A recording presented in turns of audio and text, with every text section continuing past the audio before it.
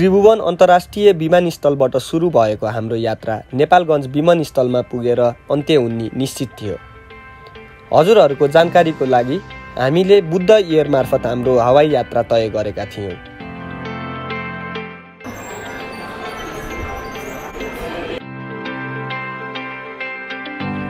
र हामीले टिकट भने एयरपोर्ट नजिकैको ट्राभल एजेन्सीबाट दुई दिन अगाडि नै बुकिङ गरिसकेका थियौँ।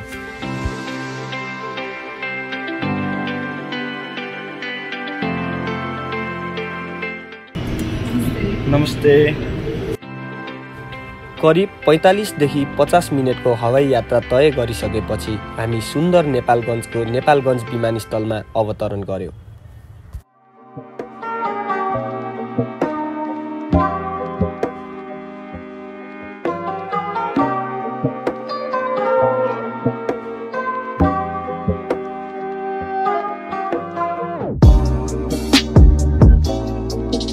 नेपालगञ्ज आइयो तर नेपालगञ्जमा आउँदा चाहिँ अलिकति होइन एयर कन्डिसन साथमा बोकेर आउनु होला।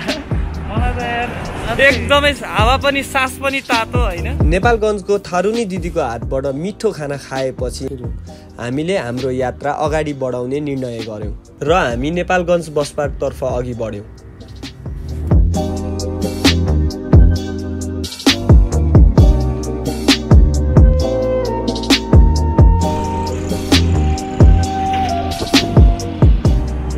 भाइको नाम चाहिँ के हो? अँ। सलमान। यहीँको यहीँ बस्छौ हो तिमी? यहीँको? कति वर्ष भयो? अँ। अगाडि पनि अँ। रिक्सा चलाएको कति भयो? पाँच वर्ष भइसक्यो है। सलमान भाइसँगको त्यो छोटो कुराकानी पछि हामी जाजरकोट तल्लु बगरको लागि रात्रिकालीन बस चढ्यौँ।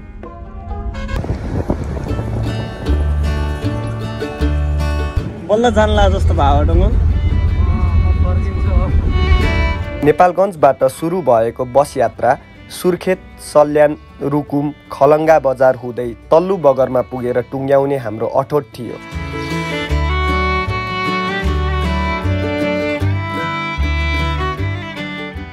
निर्माणाधीन अवस्थामा रहेको जाजरकोट सडक खण्ड जहाँ सडक बनाउने काम चलिरहेको कारण हाम्रो बस रोकिँदै रोकिँदै चल्न थाल्यो।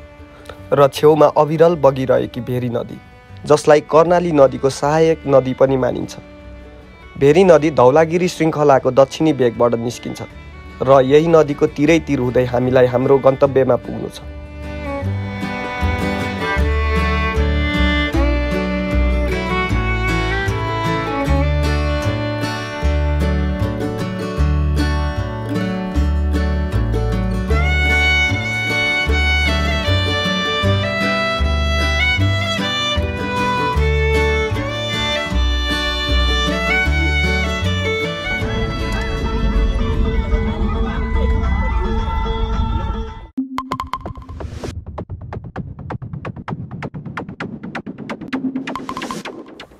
सुनौलो दिनको नौलो सुरुवात भने चाहिँ तल्लो बगर पुगेर हाम्रो बस रोकियो।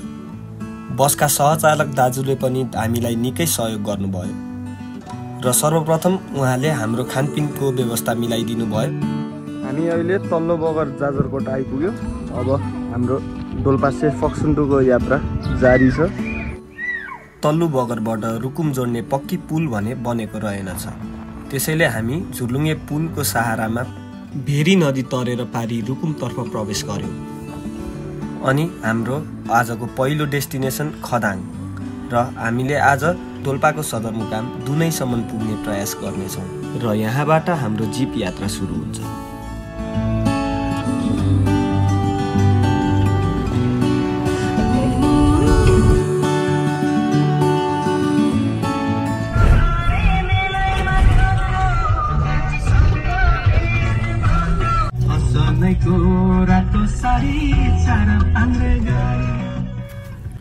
यात्रामा बाटो पहिल्याउँदै अघि बढ्दा अनेकन चुनौतीहरू सामु आइपर्दछ। यी नै अचानक आइपर्ने चुनौतीहरूले नै यात्रालाई थप रोमाञ्चक बनाउन मद्दत गर्दछ। ड्राइभर दाइले जिप मर्मत गर्दै गर्दा हामी चाहिँ त्यहाँको सुन्दरता निहाल्नतर्फ लाग्यौँ। गाडी बिग्रेको अवस्था।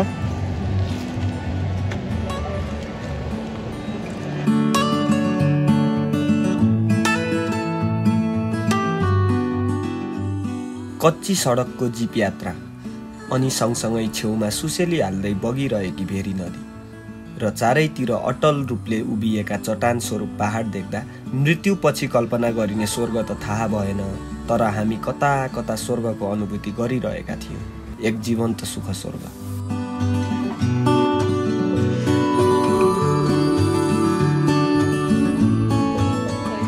हामी अब खदाङबाट पुल तरेर गाडी चेन्ज गर्नलाई हिँड्दैछौँ। होइन? अनि अर्को कुन ठाउँ अरे हामी जाने? हामी चाहिँ अब यहाँबाट त्रिपुराकोट खदाङ पुग्यौँ अब चाहिँ त्रिपुराकोट हुँदै दुनै जाने तर्खर लागेका छौँ।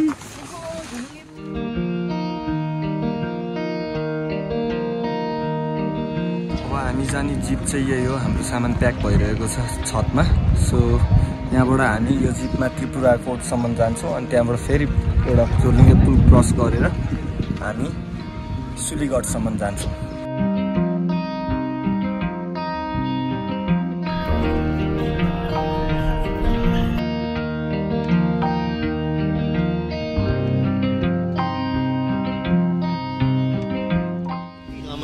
आजको छेड एकदमै रमणीय छेड छ।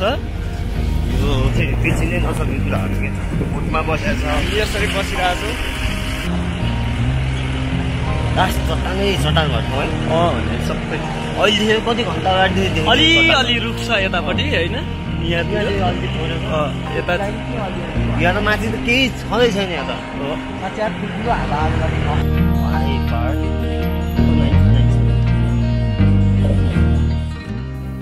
त्यो जिपको छत यात्रा। अनि यात्राको क्रममा भेटेका साथीहरूसँगको मिठो गफगाफले मनलाई एकदमै प्रफुल्लित बनाइरहेको थियो।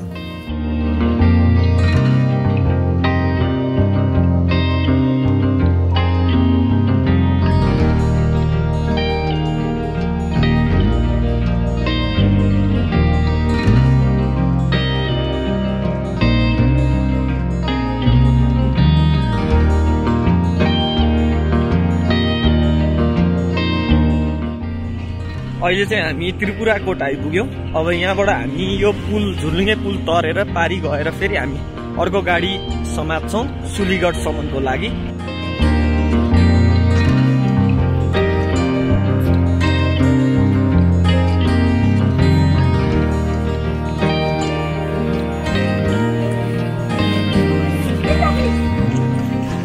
हामी चाहिँ अहिले त्रिपुराकोट बजार पास हुँदैछौँ। अब यहाँबाट हामी दुनैको लागि अघि बढ्दैछौँ। हाम्रो टार्गेट चाहिँ दुनैसम्मको रहेको छ अब आजको लागि। तर बुझ्नु स्टिल अब यहाँ गाडी पाउँछौँ कि पाउँदैनौँ भन्ने कुरा नै डाउटमा छ। त्रिपुराकोट पुगेर हामीले त्यहाँ दाजुभाइ जत्तिकै छोरीचेली पनि निकै नै मेहनती भएको दृश्य अवलोकन गर्न पायौँ।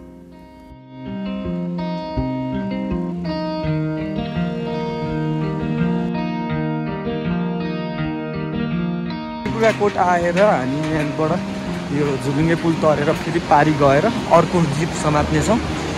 त्यो जिप चाहिँ दुनैसम्मको लागि हुन्छ। ठाउँहरूको नामहरू चाहिँ एकदम अब नयाँ मान्छे भएर होला मलाई एकदमै कन्फ्युजन भइरहेको छ। अब हामी चाहिँ दुनैतर्फ लाग्दैछौँ।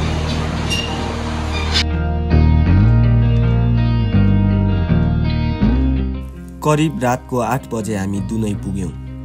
दिनभरिको यात्राले थाकेको हामी तातो खाना खाएर ओछ्यानमा लुटुपुटु हुँदै सुत्यौँ।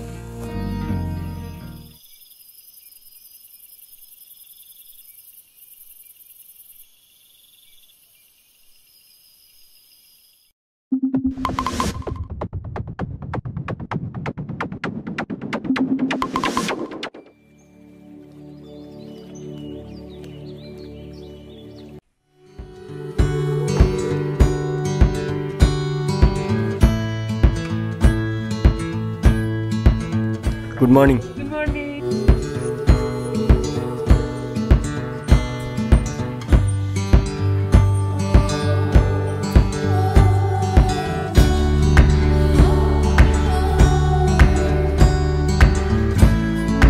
good morning everyone दुनैबाट अब हामी सेफक्सुन्डोतिर लाग्दैछौँ तर आज हामी सायद बिचमा कतै बस्नेछौँ। सायद छेप्का हुन्छ वा रेची हुन्छ। गएर हामी बास बस्नेछौँ। तर पनि ठाउँ चाहिँ इट्स भेरी असम होइन। यो बजारै एकदमै टिपिकल बजार छ। घरहरू एकदम चिटिक्क परेको।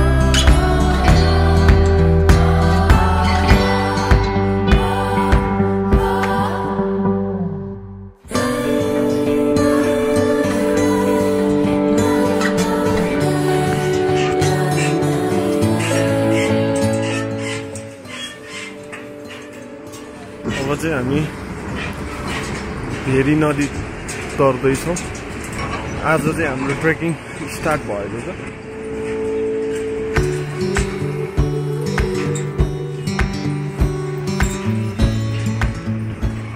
करिब तिन सयदेखि तिन सय पचास घर दूरी रहेको दुनै गाउँ डोल्पा जिल्लाको सदरमुकाम समेत रहेको छ।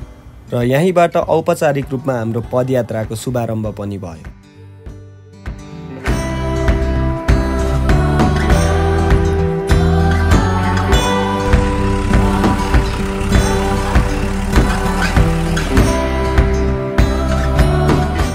एकदम सही छ। मजा आउने छ। ट्रेकिङ गए जस्तो लाग्यो है बल्ल। बल्ल गएको जस्तो फिल भयो है गाइज एकदमै रमाइलो छ यो ठाउँ। जताततै चट्टानले बनेको डाँडै डाँडा र साइडमा बगिरहेको भेरी नदीको तिरैतिर हिँड्न एकदमै रमाइलो भइरहेको छ। सो तपाईँहरू पनि घुम्न आउनुहोस्।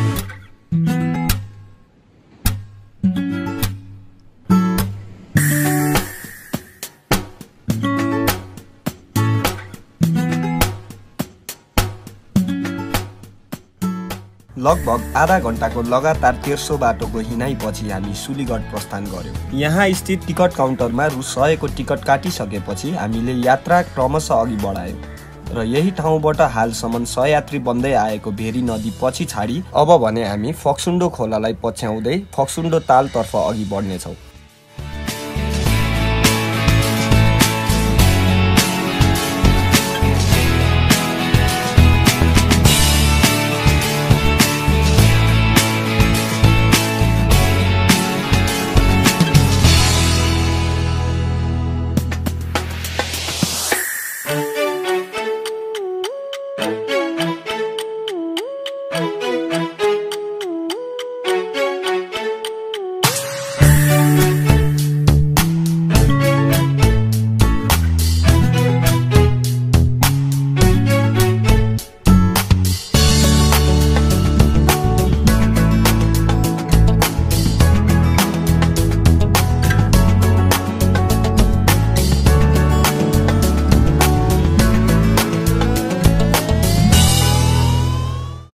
अहिले चाहिँ हामी कागेनीमा खाना खानलाई सुनिता होटेलमा रोकेको छौँ। यहाँ खाना खाएर एकछिन टाइम स्पेन्ड गरेर रेस्ट गरेर हामी छेप्काको लागि अघि बढ्नेछौँ। प्राकृतिक सौन्दर्यताले भरिपूर्ण कागिनी गाउँमा हामीले तिब्बती रहनसहन भाषा संस्कृति र जीवनशैलीलाई नजिकबाट निहाल्ने मौका पायौँ। कागेनी गाउँ सुलीगढबाट झन्डै डेढ घन्टाको सहज हिँडाइपछि आइपुग्न सकिन्छ।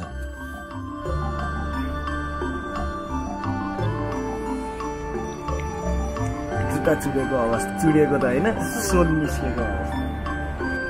र हाम्रो प्रिय मित्र सुरज र उपासना प्रधानले डोरी ल्याइदिएको छ। डोरी मात्रै होइन सियो पनि। सुपर ग्लु पनि। म गाँठो पार्दैछु। पहिला सुपर ग्लु होइन? हो। अब केही होला यो जुत्ताको। जुत्ता धनी चाहिँ यता हुनुहुन्छ। मुसु मुसु हाँस्दै हुनुहुन्छ। यता एसिस्टेन्ट यता जुत्ताको डक्टर डङ्गो उहाँ चाहिँ हेर्न आएको।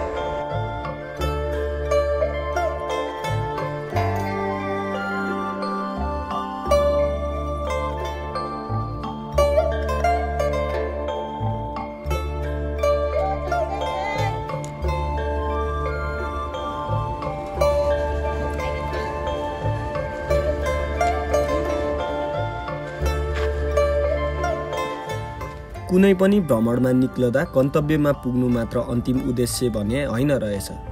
गन्तव्यले हामीलाई लक्ष्य प्राप्तिको बोध गराउँदछ भने यात्राले हामीलाई अविस्मरणीय पलहरू दिलाई हर्षले मनलाई तरङ्गित गराउँदछ।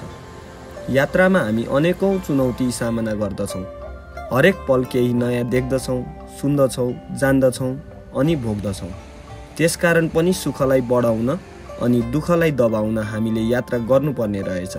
आफूलाई अझै गहिरिएर चिन्न पनि हामीले यात्रा गर्नुपर्ने रहेछ।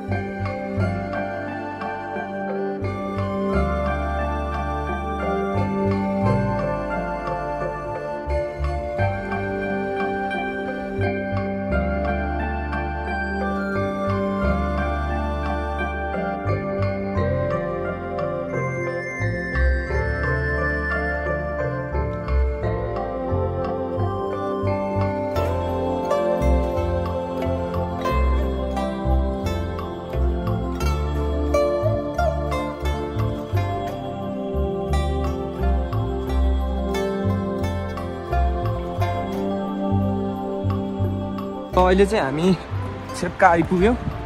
अनि आजको टार्गेट चाहिँ हामीले राँचीसम्म जाने सोचेको थियौँ जसलाई चाहिँ अब यहाँबाट चार घन्टा लाग्ने देखाइएको छ। चार घन्टाको उकाली ओह्राली पदयात्रापछि हामी छेप्का आइपुग्यौँ र यात्राको थकान अनि ढल्दै गएको दिनसँगै बढिरहेको चिसो भगाउन हामीले आमाको हातको तातो चिया पियौँ।